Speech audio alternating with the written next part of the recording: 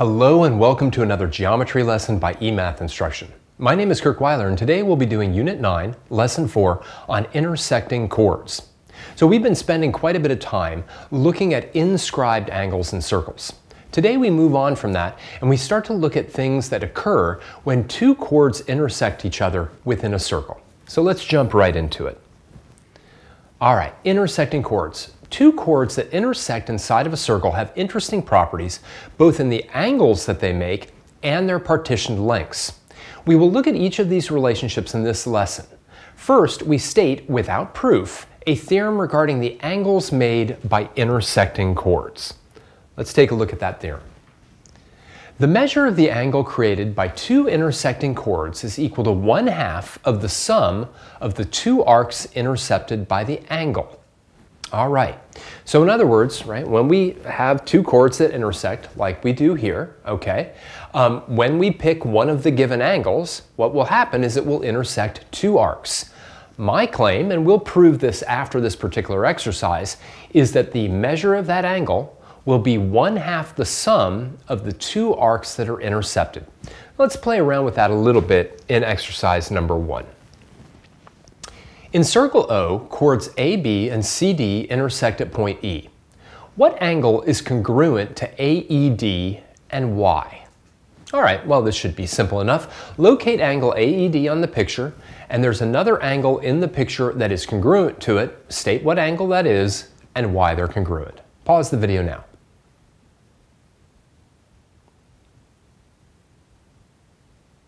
Well, let's first locate angle AEB, right? It's right here, or sorry, AED, it's right there. And that's going to be congruent to angle CEB because they're vertical angles. Right? They are a vertical angle pair. All right, simple enough. Now letter B. What two arcs are intercepted by angle AED and the angle from A? Highlight them on the diagram. All right, so what two arcs are intercepted by this angle and this angle? Pause the video and kind of highlight them on the diagram. It's really great if you actually have highlighters. Pause the video now.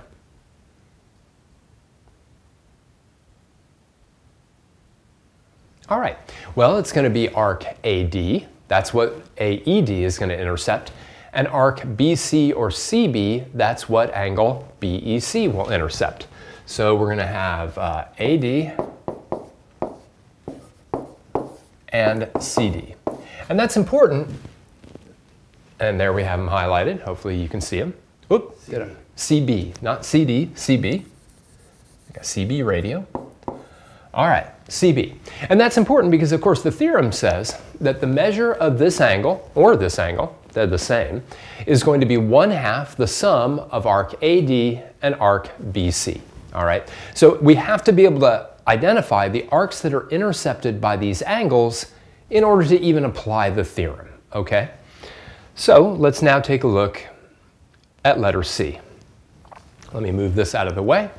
If the measure of the smaller arc from B is equal to 57 degrees, and the measure of the larger arc is equal to 75 degrees, then use the theorem to determine the measure of angle AED.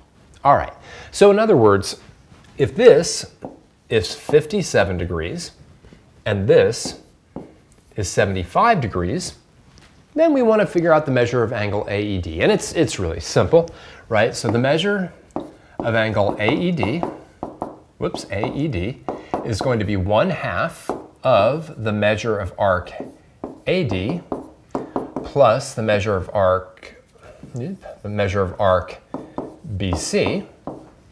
And that's just going to be one half of 57 plus 75.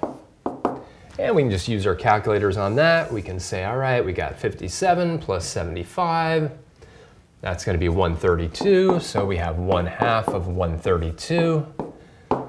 And so we can just divide that by 2. And we're going to get 66 degrees. Okay. Simple, right?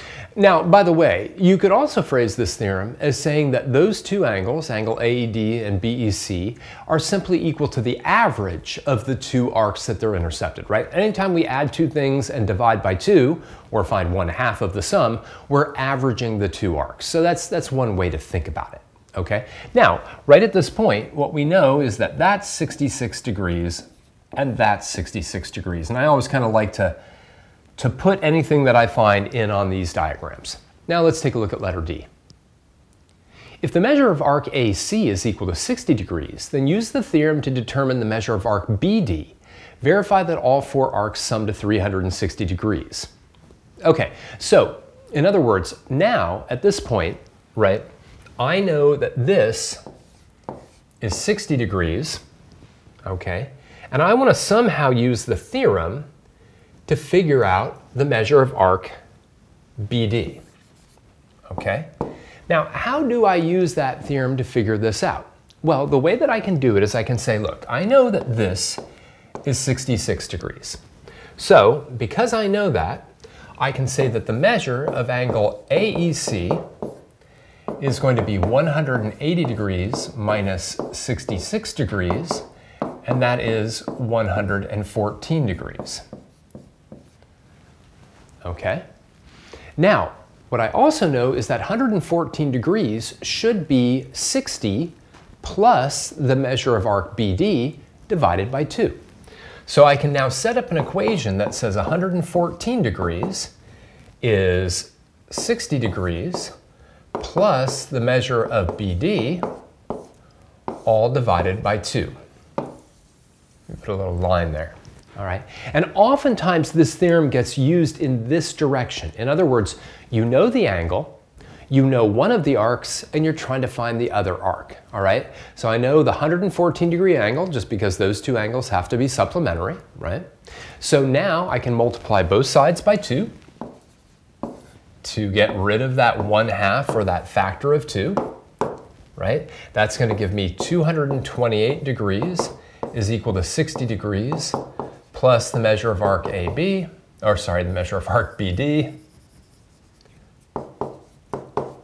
Then I can subtract 60 from both of these, and that's going to give me the measure of arc BD is equal to 188 degrees. Is that right?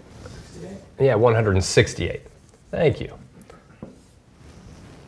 I'm like, that doesn't seem right. I knew that it was a minor arc, so it shouldn't be larger than 180 degrees. Now, the last thing that it said was just to verify, right, that all four arcs have to add up to 360 degrees. And that's a good thing to like at least verify, right? We knew this was 57 degrees. This was 75 degrees. So if we do 57 plus 60 plus 75 plus 168, let's just make sure that's equal to 360 clear that out. 57 plus 60 plus 75 plus 168 is 360. Just a little verification. Now, don't get me wrong. If I were just asked to figure out the measure of arc BD and I had these three other arcs, I would just add them together and subtract from 360. I probably wouldn't use this particular theorem. The reason for letter B is to show how that theorem can kind of be used if you know the angle and one of the two arcs, right? So the, the direct application of the theorem is, you know, if I know the two arcs, I add them together, I divide by two, and I get that angle. The indirect application of the theorem is if I know the angle and one of the arcs, how can I find the other arc? And that's obviously it takes a little more work because you have to do some algebra as opposed to just sort of like plugging numbers in and cranking them out. All right. Now, of course, as always in geometry, we don't want to just have a theorem without proving it, right? Maybe the whole point of geometry is to be able to prove things that we've figured out. So, the reasoning behind why this theorem is true falls back on our work with inscribed angles. We will prove this theorem in the next exercise. So let's take a look at exercise number two. In circle M, segment DE and segment FG intersect at point H. We want to show that the measure of angle GHE is one half the sum of the measure of arc GE with the arc DF. All right, letter A, draw in auxiliary line segment DG. All right, that should be simple enough. Why don't you go ahead and draw that in? All right, and this is again a great example of where we cannot prove this theorem without first drawing another line in there. A line that isn't in there originally, but clearly can be drawn. Now let's take a look at letter B. Why can we state that the measure of angle GHE is equal to the measure of angle D plus the measure of angle G? Why can we state that? Pause the video now Look at where each one of those three angles lies and see if you can explain why this has to be true.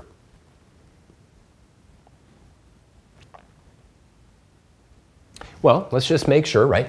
Here's GHE. That's the one that we really care about, okay? Here's angle D. Here's angle G, right? And yet again, we have the exterior angle theorem, right? So angle GHE is an exterior angle of triangle DHG with angle D and angle, whoops, angle G, its remote interior angles right? And anytime we have an exterior angle to a triangle, that exterior angle is always the sum of the two remote interior angles. Let's take a look at angle at letter C. Using what we know about inscribed angles, state an equation for each of the following. The measure of angle D equals and the measure of angle G equals. All right, why don't you go ahead and state what both of those two are equal to in terms of the measures of the arcs that they intercept.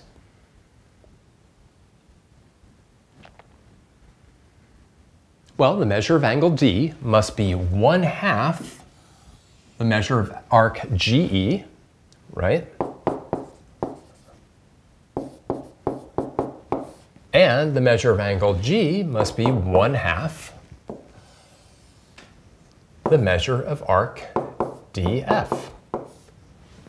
Okay, and that's just based on the fact that an inscribed angle is always one half the measure of the arc that it intercepts. And now we're just about there, right? Letter D, use the equality in B along with your results from B to prove the desired relationship. Actually, it should say along with your results, I apologize, from letter C to prove the desired relationship. All right, so the equality in B, right, was that the measure of angle GHE was equal to the measure of angle G, well, equal to the measure of angle D plus the measure of angle G. All right, but each one of these can then be thought of in terms of inscribed angle relationships with arcs. So the measure of angle GHE is 1 half the measure of arc GE, whoops, GE plus 1 half the measure of arc DF. And you probably almost see it at this point.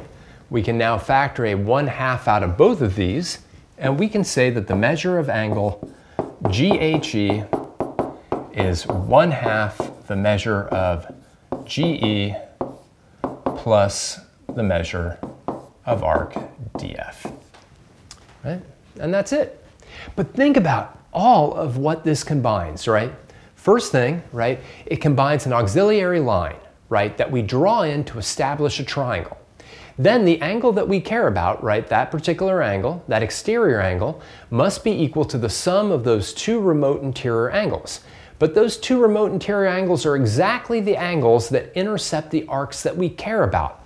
That angle being 1 half GE, that angle being 1 half DF, And so that exterior angle must be the sum of 1 half of GE plus 1 half of DF, right? That's right here. Then we can factor the 1 half out and we can just say that the measure of angle GHE is 1 half the sum of the measure of GE plus DF. So cool. Combines the exterior angle theorem with facts about, right, inscribed angles to get a relationship between the angles that intersecting chords make with the arcs that they intercept. Really kind of cool. And only true because of that relationship that we had with inscribed angles. Let's take a look at exercise number three. In circle O shown, chords AB and CD are perpendicular and intersect at point E. If the measure of arc BD is equal to 126 degrees, then determine the measure of arc AC. All right, see if you can use that theorem that we just saw to figure out the answer to this particular problem.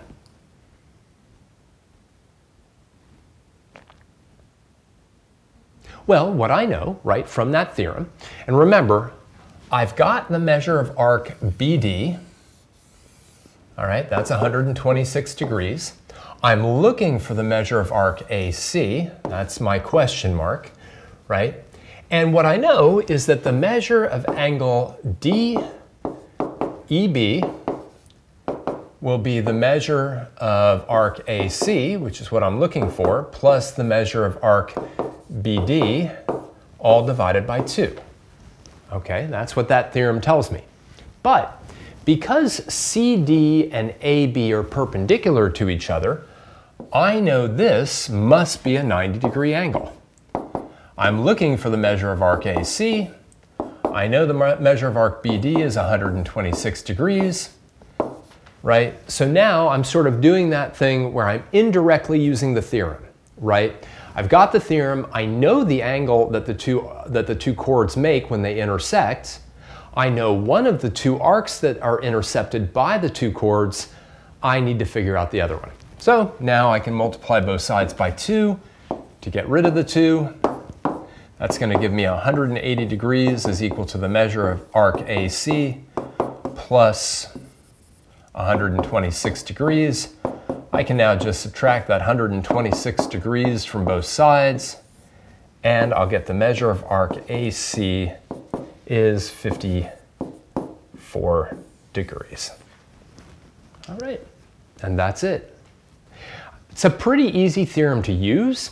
It's one that you have to commit to memory, but it's pretty easy to use whether or not you're taking the two arcs, adding them together and dividing by two, or whether you know what the angle is, you know one of the arcs, then you just have to do a little bit of algebra. Now, there's an additional thing that we want to look at with intersecting chords, which is the partitioning of those chords. Another important relationship exists between the partitioned segments of the two chords that intersect each other. So let's look at that relationship, and then we'll eventually prove it. Intersecting chords and segment lengths. When two chords intersect inside of a circle, the product, product of the partitioned lengths of one chord is equal to the product of the partitioned lengths of the other chord. Now this is very important, right? If I've got these two chords, A, B, and C, D intersecting in a circle at point E, then what this theorem says is if I take AE and I multiply it by BE, I'll get exactly the same thing as if I take CE and multiply it by DE. Please note, this is a product issue and not a sum issue. If it was a sum issue, that would be very weird right? If it was a sum, if like AE plus BE was equal to CE plus DE, that would say that all chords drawn inside of a circle were the same length, which they clearly don't have to be. Some chords are longer than others, right? It's just the product. AE times BE is equal to CE times DE. Now this is an exceptionally easy theorem to use, so we're gonna go ahead and use it, and then in the next exercise, you know what we're doing, we're gonna prove it. But let's first use the theorem. Exercise number three. In the diagram of circle O, chords A, B, and CD intersect at E such that AE is 6, BE is 4, and DE is 3. Use the above theorem to find the length of CE. All right, so it, it's actually kind of hard to make problems that use this theorem difficult, literally, because I've got AE is 6, BE is 4, all right, I've got DE is 3, and I want to figure out what CE is equal to. And this theorem just says, look, if I take DE and I multiply it by CE, that's going to be the same as AE times BE. So I, I know that DE is 3. I don't know what CE is. That's what I'm trying to figure out. I know that AE is 6 and BE is 4. And so I'll get 3 times CE is equal to 24. Divide both sides by 3, and CE must be 8. And again, right, clearly the two chords aren't the same length. One of them's 11 units long, one of them's 10 units long. But 8 times 3 and 6 times 4, that product is consistent. That product is constant. Now, why does this happen? And it's remarkable, right? Like, it doesn't matter how big or small they are. I could have a something like this, and I could take a really kind of tiny chord with a longer chord, okay? And the plain fact is if I took that small length here and I multiplied it by that large length, I'd get the same answers if I took that times that. So let's figure out why that's true in the last problem. Okay, proving the theorem. We can prove our theorem about partition lengths of chords by the use of similar triangles. Bring me back to unit seven, right? Similarity is going to become important in this particular unit, all right? So let's take a look at exercise number four. In circle O shown, segment AB and CD intersect at E. We wish to prove that AE times BE is equal to CE times DE. All right, cool. Letter A, draw in auxiliary line segments AC and BD. All right, so this is yet again a situation where we have to draw on auxiliary segments in order to prove something.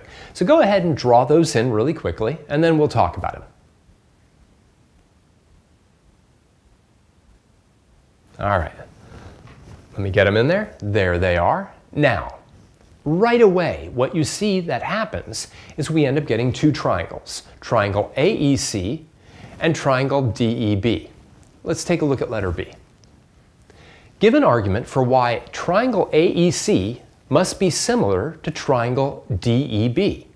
So I, I, claim that this triangle and this triangle aren't just two random triangles showing up in, a, in circles or in a circle. They are actually similar triangles. Pause the video now and see if you can come up with an argument for why they must be similar.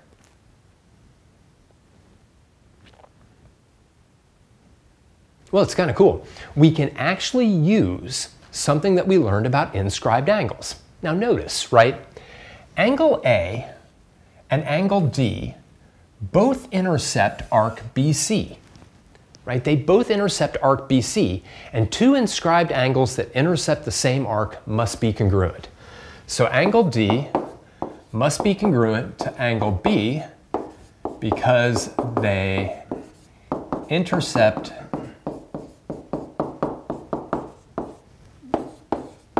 the same arc. All right, those have to be congruent. Did I mess that one up? D, not B. Yeah, I don't know why. Angle D and angle A, right? Angle A and angle D. Angle D and angle A. I don't know where B came from. Thank you, Joey. All right, so angle D and angle A are congruent because they intercept the same arc, specifically arc BC. Now, we could bring in this pair of vertical angles right here, but I like this whole intercept the same arc line of reasoning. And the same is true for angle B and angle C. So angle B is congruent to angle C for the same reason, right? They also intercept the same arc. That arc just happens to be arc AD this time, all right? So we can now say, therefore, triangle AEC is similar to triangle DEB by the angle-angle theorem. All right, those two triangles are similar, okay? And it's just, it's so elegant the way that works out, right? And again, it works out based on the fact that, right, two inscribed angles that intercept the same arc must have the same measure and therefore must be congruent. But now we've got these two, two similar triangles, right? Let me again mark this up and this up. Okay. And letter C says, based on triangle AEC being congruent to triangle DEB, prove that AE times BE is equal to CE times DE. Well, this is really just the last two lines in the type of similarity proofs that we did back in, I believe it was unit 7, all right? When we proved two triangles were similar, typically by the angle-angle theorem of similarity, right, we can now say that side AE divided by side DE, right, they're both across from these double arc marks here, so AE divided by DE, that must be the same, right, as CE divided by BE. Now, it would be very understandable if you said, well, wh why not AC divided by BD, right? Why not bring these two segments in? And we could, except a couple things. One, those were the auxiliary line segments that we drew in right at the beginning. They're really not part of this problem. They just help us to see the two similar triangles. That's all, right? Now, the reason for this is that because, right, corresponding sides in similar triangles are proportional. Right? They're proportional, right? This one divided by this one equals this one divided by this one. Now remember, this is what we're looking to get, which is just basically taking this proportion and turning it into a product, right? This whole like, oh, let's just kind of cross multiply, right? AE times BE now must be equal to CE times DE. And the technical reason for that is that the product of the means equals the product of the extremes.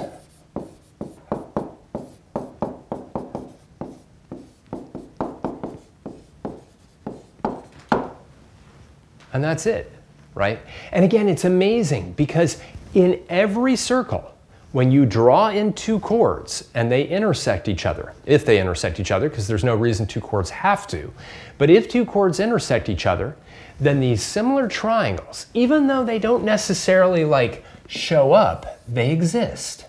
You know, I got these two, two intersecting chords, right? And even though they don't, aren't drawn in, as soon as I draw those two in, then what happens is I've got two similar triangles. Due to those two similar triangles, this particular proportion is true, and because this particular proportion is true, this particular product is true. All right. Now, it's a very easy result. Literally, the previous problem is the only problem that we're actually going to do on that because really, how many of those do you have to do? You know, you like, you, have got three of the four partition segment lengths and you're looking for the fourth one. That's basically it, right? So, we had two major results today that applied to intersecting chords. One of the results was the angles that those two intersecting chords make. And that angle, or angles, right, is always going to be equal to one half of the sum of the two arcs that they intercept, or the two arcs that they intercept summed divided by two.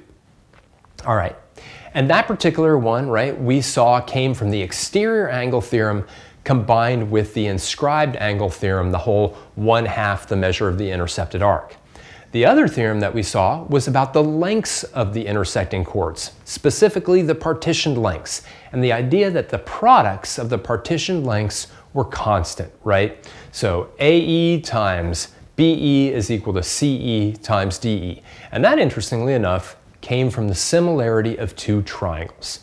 All right, so you definitely want to commit those two theorems to memory. Unfortunately, the one thing I, I, don't like particularly about this unit, I love the results of this unit, but you have to end up committing them to memory. And they're not on that beautiful little formula sheet that you're given at the end of the year, which is weird because they give you all sorts of other formulas, but they don't particularly give you these, so you have to memorize them. So spend some time tonight working on the homework, memorizing these theorems. We're going to be using them in larger problems as we move on. For now, I just want to thank you for joining me for another geometry lesson by eMath Instruction. My name is Kirk Weiler, and until I see you again, keep thinking and keep solving problems.